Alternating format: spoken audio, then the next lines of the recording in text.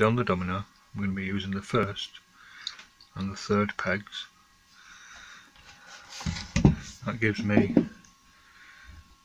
tenons, mortises, like that. On my drawing I've set the timber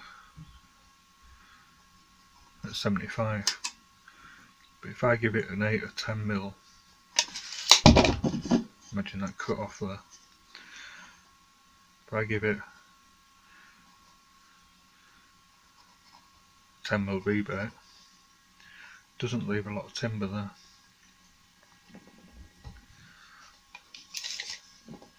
So I'm going to set them at about 80 mil. So I should bring the tenon in a bit more. Give me a little bit more timber there first thing I did was draw the basic layout of the units the full size of the units then I added about 2 mil all round for the doors that gives about a 4 mil gap between each door it's a bit more than I would have on a cabinet, but this is a kitchen, so nice to have a little bit of clearance. Didn't have a lot of choice, as you saw in the pack. I picked the ones that were straightish that way, because that bend is very hard to get out without losing too much timber. But you see, I'll only get one timber out of that. I'll only get one piece out of that. Got a few on the rack here, same again. I'll only get one out of that. And the ones in here, these wider boards, if I made them 70 or 75 I'd get three out. But, like I just showed you on the tenons on the dominoes, it'd be too small. So a lot of these I'll only get one out of.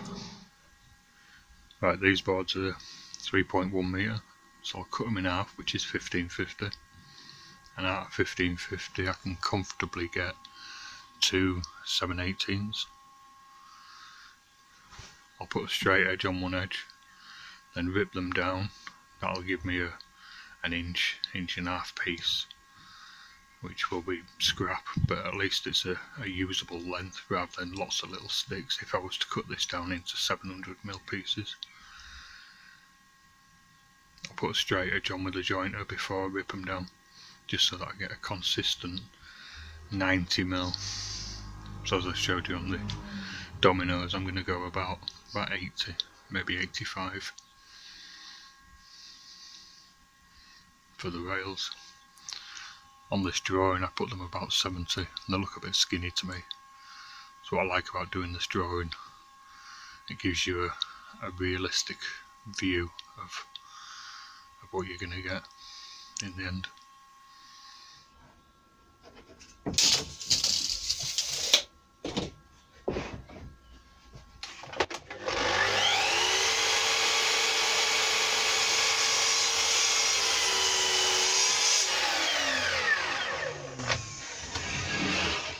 Right, I've got, I can get two out of each one of these, two stiles, that's the ones that go down the side.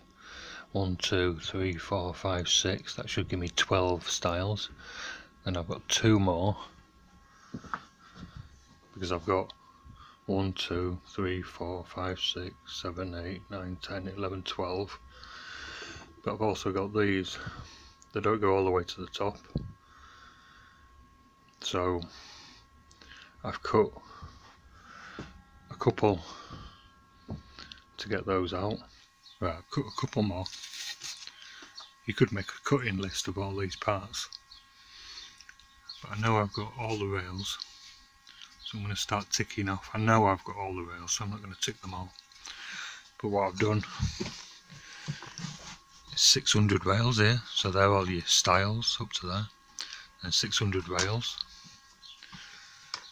I've got three 600 mil doors. The rails are 446 let's round it up to 500 so out of the 1550 out of half a board should be able to get three of them so I've got two of them so that's three, six rails. So that's that one, that one, that one, that one, that one, and that one.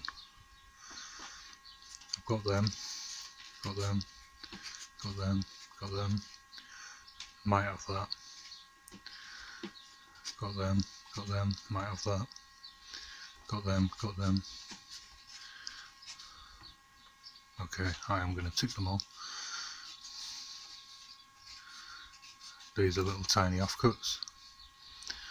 So what I need to do now is these, which are 346, and these, that's are 646. I need four of them and two of them. So two of them is call it 700 so I'll cut a board in half again. That'll give me two. And then the other half of the board will give me two. And I just need to find that. I'm calling this the 500 unit because it's the only one that's 500 it's the corner unit but that's a corner unit as well so a bit confusing. I've cut another board in half. So 1550 that's 346 two of those 400 is only 800 so I'll have some off cut off that but that's good because you always need a little piece just for setting up things. All I've got to do now is find a board suitable for this top drawer this uh, cutlery drawer. And I can start machining them all. So I'm my drawing there. 500 rail. Like I say get two out of them with an offcut. Draw rails. 600 rails. And then all my stiles. right first thing and give this a clean it's got a little bit of hose spray on where I've been cleaning guns out and use a bit of acetone that gets rid of any resin build up on it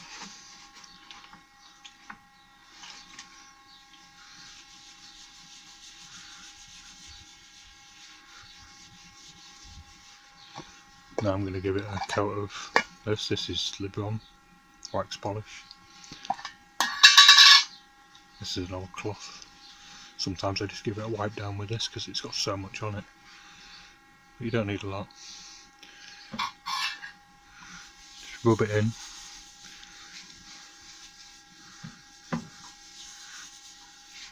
Don't need to rub it in too much to begin with.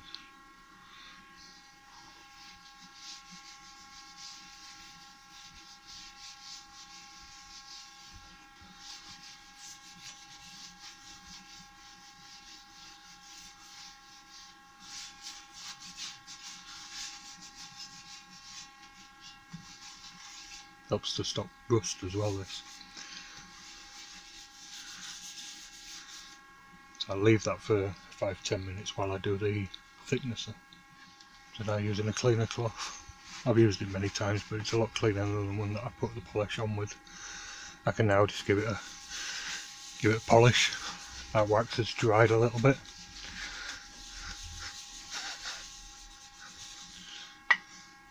Literally slow along Makes it easier for planing, for pushing the wood across. Right, time to put a straight edge on these. What I'll do is look down them, pick the size that curves inwards, you want the crown up as they call it. See that one curves that way. So that's the side I'll be putting down onto the planer.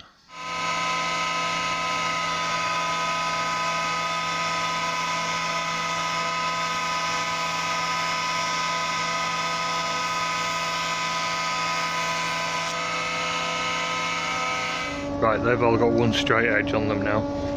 So what I'm going to do is rip them down. I want to finish about 80 mils, so I'm going to be generous because when I rip these down, they might bend a little. I don't think they'll bend much, but for the sake of 5 mil. So I'm going to set this at 90.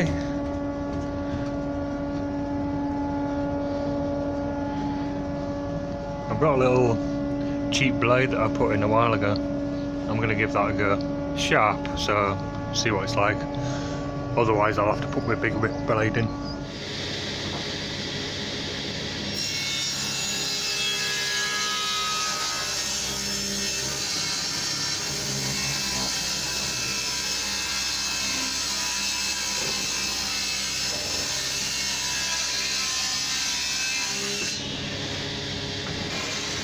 So they're cut to approximate width now. What I'll do is cut them to the length, approximate length. I'll leave a bit. On these pieces, I'll go through the obvious rubbish. and The good pieces will go on the rack. And then next winter I might end up burning them if I haven't used them, but at least they're sort of usable pieces. Now I'm cutting these down, remember these are 1550 they're pretty much all 1550 I've got here the draw rails. I know that's draw, draw, draw rails. Draw rails only need to be 646 but I cut 1550 and a half. That gives me 1775 which is more than enough. These are these are 600 rails. So this is a 600 door they need to be 446 so call it 500 these are 1550 so I'll just cut them down to 510 515 next I've got the 500 rails which only need to be 346 so I'm going to round that up to 400 so what I'll do is cut two pieces off at 400 and then remember I want that waste piece I want to keep that but I'll machine it up as I do all the other rails so that I've got that piece to set up me dominoes and I don't really need to set up the dominoes but set up the router. Just gives me a piece to play with. Right now I've got all the stiles to do. There's 12 of them so I'll cut six of these boards in half just to make it easier. I'll set up a stop put a clamp on it. Well they're cut. It says extra and I've got that spare so I've got all them bits to play with. I put DS just draw stiles. Like I say I cut them in half so I've just left them full length. If I cut them down into these little pieces they're just they're just a bit short to manage. It's easier it's easier planing longer pieces like this. So lots of planing now. I'll put a flat face on if there's a bend to it that'll go down onto the bed. So I get a flat face square up one edge then run them through the thicknesser get them same thickness all of them. Then running off that straight edge that I put on the planer I'll put them through the saw get them to approximate width and then put them through the thicknesser again to get them all the same width.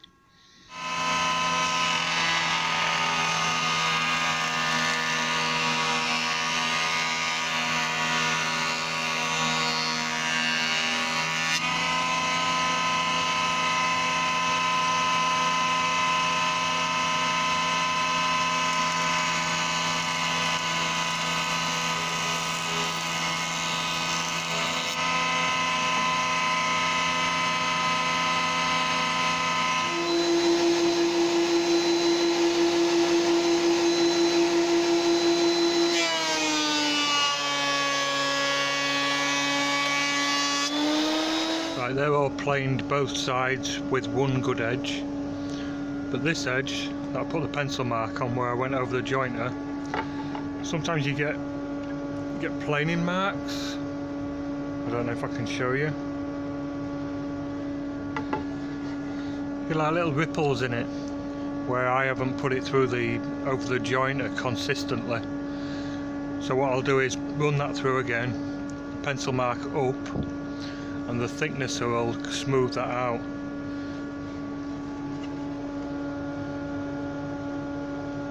see it just there I think. So yeah, I'll give the thickness a it's got a little arrow there. this spins round so I'll set that zero unlock it and then I'll just turn it to this point Oh, that'll just take half a millimetre off that face. So it'll be nice and smooth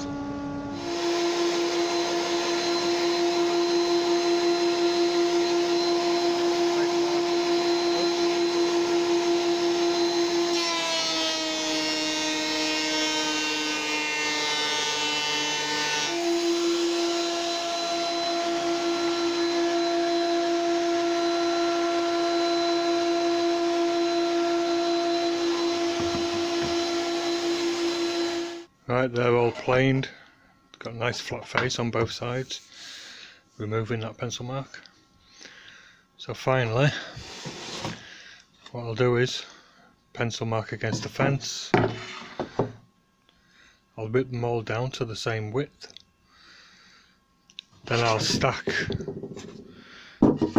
maybe four of them with the pencil mark down and the sawn edge up put them through the thicknesser that'll make them parallel make them the same thickness and give it a nice face. And then like I did on the face I'll give them a final half a millimeter turn them over remove that pencil mark and that'll remove any any lines that I put in with the jointer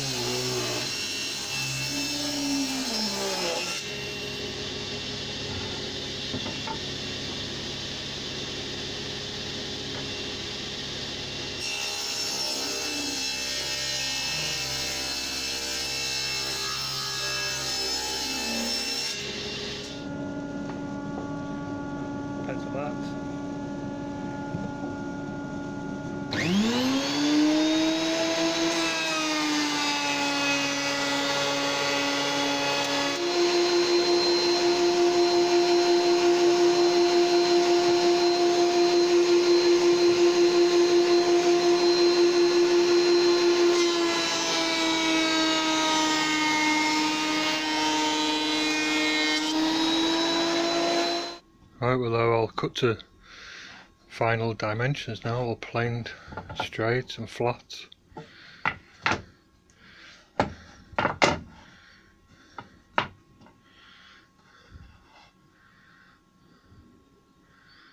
Right, I'm going to cut all these to size now while my mind's on the job. So when I cut them first thing in the morning, that's when I make mistakes. First thing I'll do is cut all these stiles, not the drawers, all these stiles to size. Set up a stop.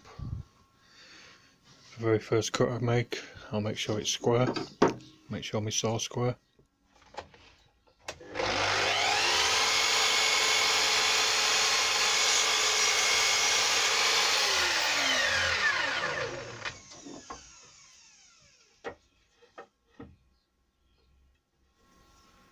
I'm just going to cut the corners off on this just so that when I butt up against that end there's no crap getting in the way.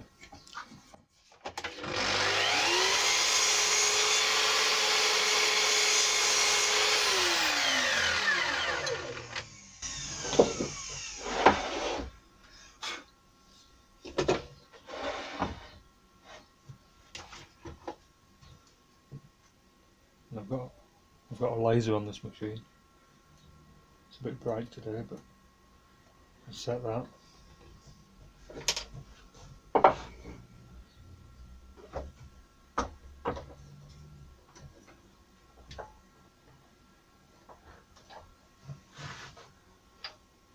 Very first one,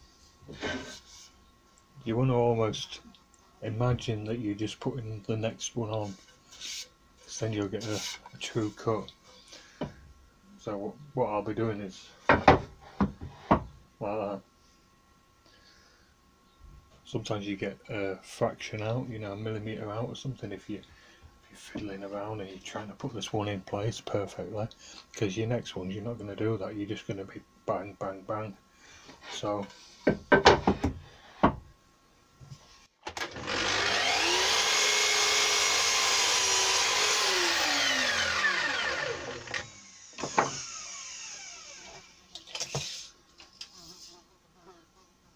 that's seven eighteen and a half. and a half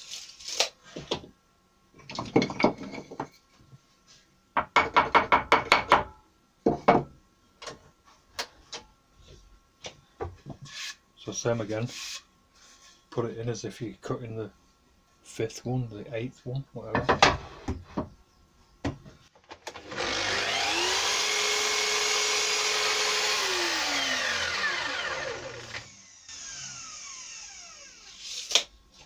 That's better.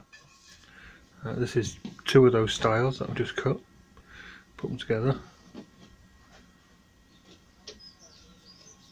I'm going to do the 600 doors first.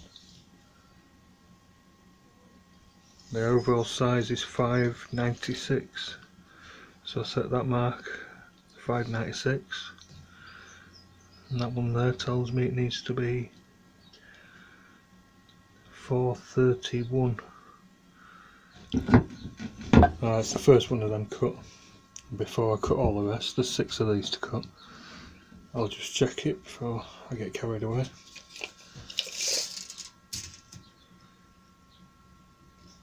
Five ninety six. So now I'll cut the rest. Just going to mark all these before I do any more. So just going to put six on. This is for the little door. cut a piece off. 131. I'm just going to cut it a bit longer.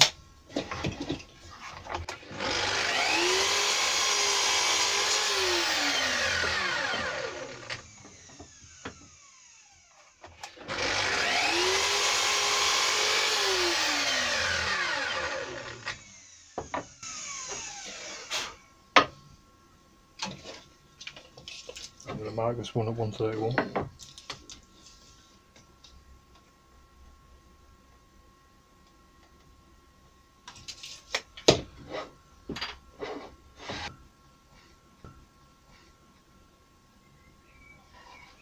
Get the ends flush.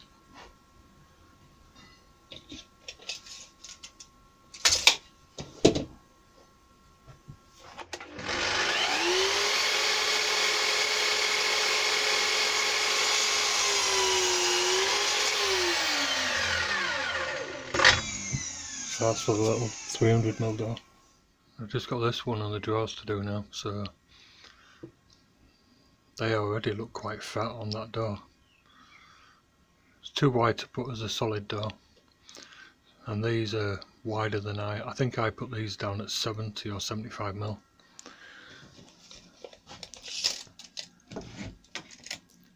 And we're just over 80 mil there. So what I think I'm going to do is cut the stiles I'll leave the tops so that they all run through same thickness. But I think I'm going to rip these two stiles down to 70 mil maybe. So I'll rip down them two stiles put them through the planer, clean up that edge. I want 198 which is there. So I want 63 mil. I'll have a couple of offcuts for that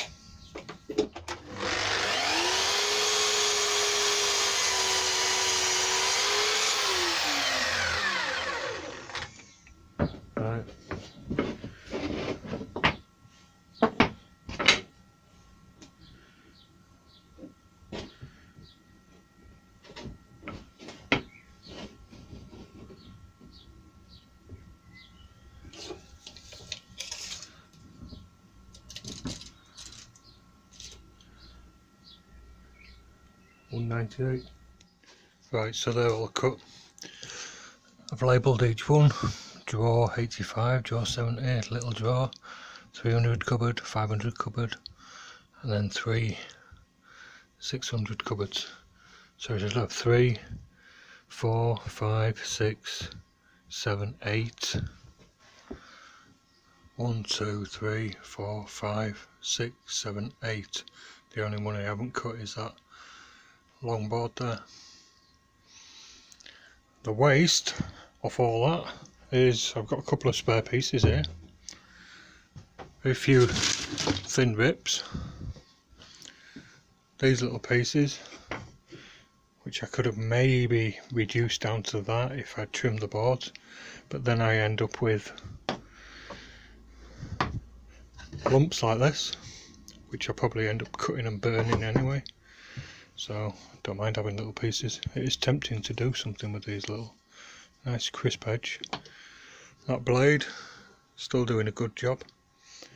As you can see very square cut no chips no breakout. And I was able to trim off half a millimetre if I wanted to. And the only other waste were these just these six or eight pieces two four six eight nine pieces. That was just the offcut off the board. I'll use that again one day. Now I can start thinking about making dominoes cutting them together putting grooves in cutting panels gluing them up making doors